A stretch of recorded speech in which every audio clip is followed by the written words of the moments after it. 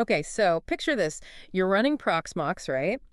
You've got Plex humming along nicely, maybe a torrent client doing its thing, and you need to give them access to your media library. Yeah, super common scenario. So you think, all right, let's just mount that SMB share right on the Proxmox host itself. Easy peasy, everyone can access the files, problem solved. But uh, what if I told you that this seemingly simple solution could actually be a huge security risk for your entire setup? Yeah, it's definitely one of those things that seems like a good idea at first, you know, just get things up and running quickly. Right, convenience first. But today, we're going to really take a deep dive into why mounting SMB shares directly on your Proxmox host might not be the best idea in the long run. We're talking performance hits, security vulnerabilities, a bunch of stuff that could really come back to bite you. So let's break it all down. Why is this seemingly harmless little shortcut actually such a potential problem? Well, the first issue is what I like to call the illusion of simplicity. On the mm-hmm. surface, mounting an SMB share on your Proxmox host seems incredibly straightforward. You mm-hmm. install cifs-utils, edit your etc. fstab, mount the share, boom, done. You've got access from your containers, Plex is streaming, torrents are downloading, everything looks great. Yeah, you get that initial when you think, hey, I'm a sysadmin genius. Right, exactly. but this initial simplicity can really mask some underlying complexities. It's never as easy as it seems, is it? Nope, not really. Yeah. Because what you've essentially done is create this really tight coupling between your Proxmox host, which is the bedrock of your entire virtualization infrastructure, and these user-facing services like Plex and Torrent clients. And remember, these are services that could be exposed to the internet, either directly or indirectly. So you're basically giving these potentially vulnerable workloads the keys to the kingdom. That's a great way to put it. You're letting them interact directly with your Proxmox host's file system, which is a huge no-no from a security perspective. It's kind of like, um, you know, letting a stranger borrow your car without checking their license first. You're taking a big risk. Absolutely.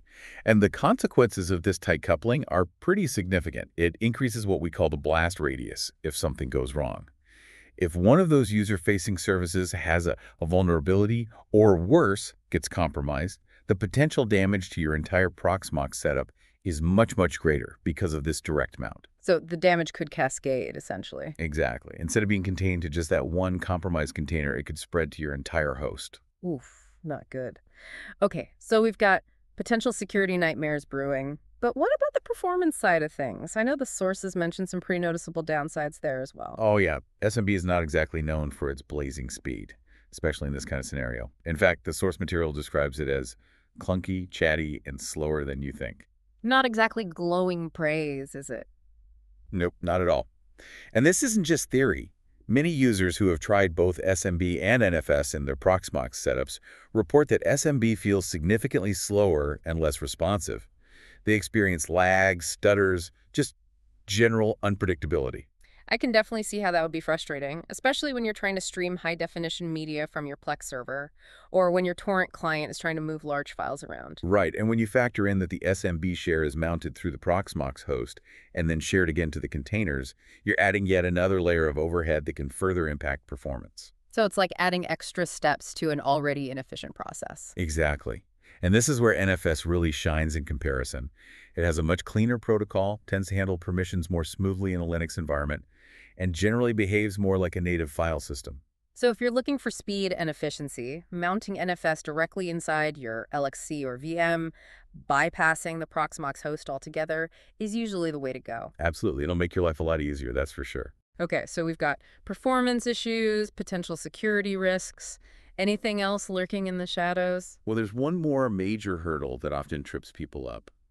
Permissions. Oh yeah, permissions. Always a fun topic. Right, especially when you're working with unprivileged LXC containers. See, SMB mounts need to play nice with Linux user and group IDs, UIDs, and GIDs. But unprivileged containers run with their own isolated user namespaces, meaning that the user IDs inside the container don't necessarily match up with the user IDs on the host system. So you've got this mismatch, this translation layer that needs to happen, and things can get complicated quickly. Exactly. You end up having to fiddle with all sorts of obscure mount options like CUDA 11000, GITA 11000, file mode 0775, trying to get everything aligned perfectly between the host and the container. And if you don't get it right, you could end up with permission errors, files being inaccessible, or even worse, security vulnerabilities. Exactly. It's a recipe for trouble.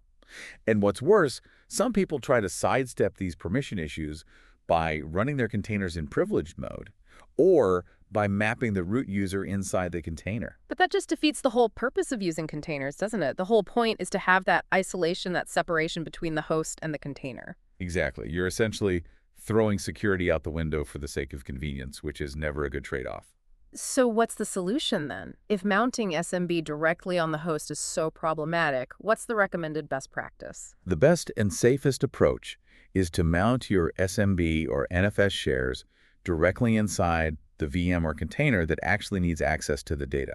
So instead of having a central mount point on the host, each container manages its own storage connections. Exactly. That way, if one container gets compromised, the damage is isolated.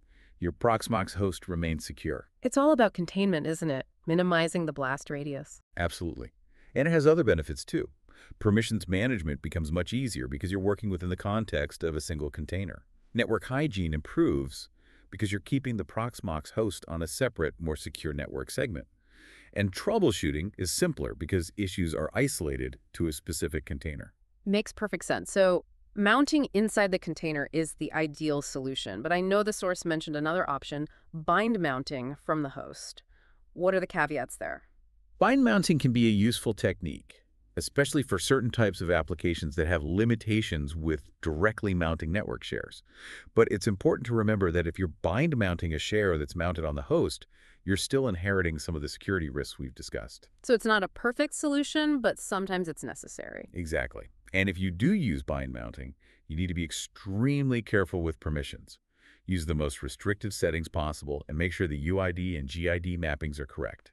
The source mentions using lxc.mount.entry in the container's configuration file to really lock things down. So it's definitely an advanced technique that requires a lot of care and attention to detail. Absolutely. Now, speaking of alternatives, the source also brought up something interesting. Using full VMs instead of LXCs, especially when you're dealing with a lot of network shares. Why is that?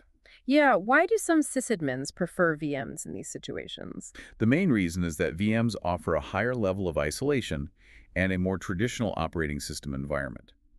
Each VM is essentially a self-contained Linux machine with its own kernel.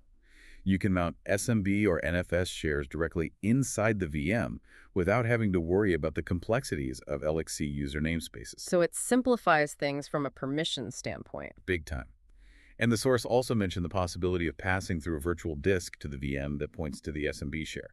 That way, the VM has direct, block-level access to the storage, further increasing isolation and security. It sounds like a really elegant solution. Of course, VMs do use more resources than LXCs, but the added security and simplicity might be worth the trade-off, especially on modern hardware. Yeah, for certain workloads, it's definitely worth considering. All right, so to recap, mounting SMB shares directly on your Proxmox host, while tempting in its simplicity, can lead to a whole host of problems performance issues, security vulnerabilities, and permission headaches. It's a classic case of a shortcut turning into a long detour. Exactly.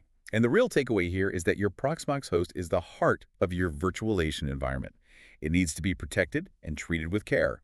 Keep your user-facing services contained, mount network shares inside the containers that need them, and resist the urge to take shortcuts that could compromise your entire setup. It's about thinking long term, isn't it? Building a solid foundation for your home lab or small business. Absolutely. So next time mm-hmm. you're setting up a service that needs access to network storage, take a moment to consider the potential risks.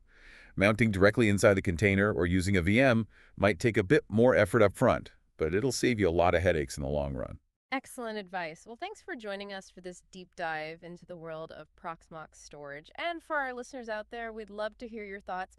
Have you encountered any of these issues with SMB mounts? What strategies have you used to manage storage securely and efficiently in your Proxmox environment? Let us know in the comments. Until next time, happy virtualizing.